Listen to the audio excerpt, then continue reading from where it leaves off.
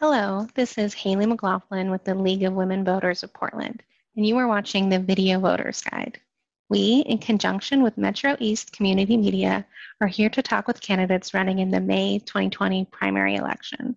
With me today is Mark White, running for Mayor, City of Portland. Welcome, Mark. Nice to be here. To get us started, Please tell us a little bit about yourself, why you're running for this office, and what unique characteristics you have among all the candidates for this office. Sure. Um, I've lived in Portland since uh, 1992. Um, and since then, I've done a number of different community um, organizing as well as advocacy. I've also sat on numerous city committees and commissions. And I was also president of my neighborhood association and co chair of the 2011 Charter Commission. And through all of that, I kind of come to the conclusion that the city of Portland, our government, doesn't really work for everyone. My neighborhood in particular is probably a microcosm of everything that's wrong with the city. So I have a, a unique perspective, I think, as to what the city says versus what they actually do. And it definitely needs some some help and support. Great, thank you. Mm-hmm. With the COVID 19 pandemic and the resulting devastation of small business, city employee layoffs, and housing displacement will be with us for some time. How would you seek to address the fallout, including the reduction in city revenue? Yeah, that's going to definitely be very tough. Um, and part of that, I think, is that we really don't know the extent of the issue. Like, for example, today there was a release from three different countries in Asia that some folks are being reinfected. Now they're double checking that, but those kinds of changes that are happening happening like on a day-to-day basis all need to be put together in order to come up with a plan. So one of the things that I think is really important, at least for myself, is to kind of help folks change their perspective of what it means to be progressive, which most Portlanders, I believe, consider themselves to be. So, for example, um, to me, being progressive and liberal means putting a heavy emphasis on personal empowerment. And in order to do that, we need money for tools and programs for people to be able to live their best lives. So, one of the things that I, I plan on doing is making sure that we go through each bureau and office, eliminate any waste, make sure that everything is being done as lean and mean as possible with as much um, positive outcomes and increase in services as is possible. My hope is that over um, a review of the entire portfolio, we'll be able to find enough money to fill the gaps that we don't have right now.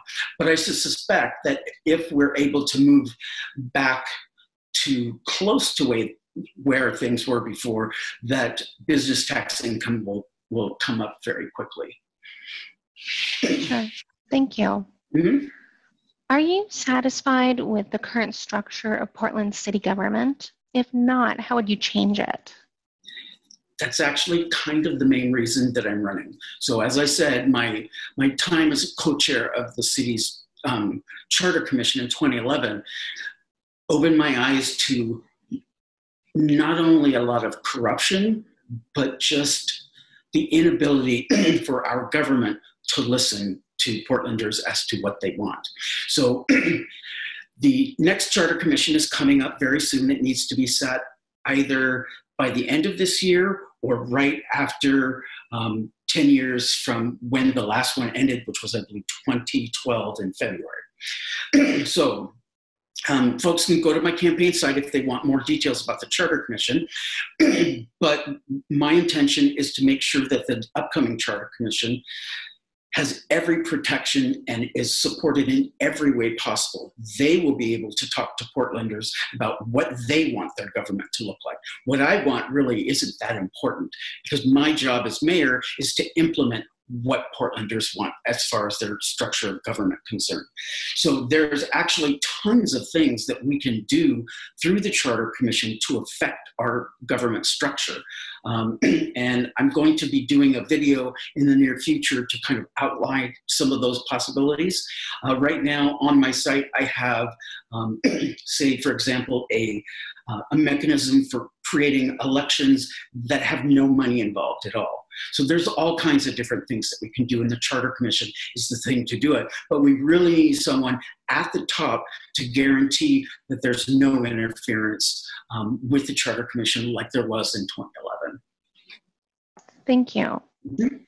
How would you address the public's significant concerns about police community relations, use of deadly force, and officer accountability? Right. So, again, while the Charter Commission is doing its thing, my intention is to have all of the bureaus and offices underneath the mayor's office, but have the entire city council working together as a team in order to address and, and conduct oversight. So that would change the current format from having one police commissioner to having five.